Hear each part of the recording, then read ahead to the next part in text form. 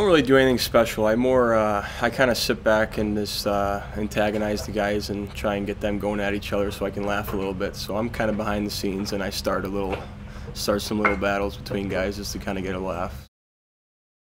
My characteristics as a hockey player is always to, you know, not give up and really just bring energy to the guys. Try and set an example on the ice with my actions and try and, uh, you know, get the fans into the game and the guys into the game and really try and battle hard for them. Try and, um, you know, to try and pull out a win every single night. So it's to me, it's I've always been an energy guy. I was raised like that to be to try and be a important guy in the locker room, and that's what my goal is to be. I came from a hockey family. You know, my dad played professional over here for a long time. You know, my cousin grew up in the NHL. My other cousin was got drafted in the NHL, played uh, a little bit in the NHL. You know, it was a big thing. I didn't really have a choice. I mean, hockey was in our blood, and that's uh, we were raised with hockey.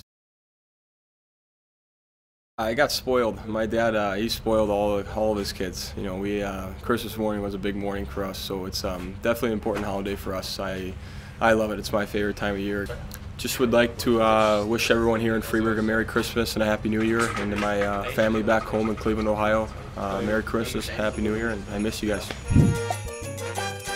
All right, um, a hint about the next player up is um, he's new to the team. He came here about um, about a month ago.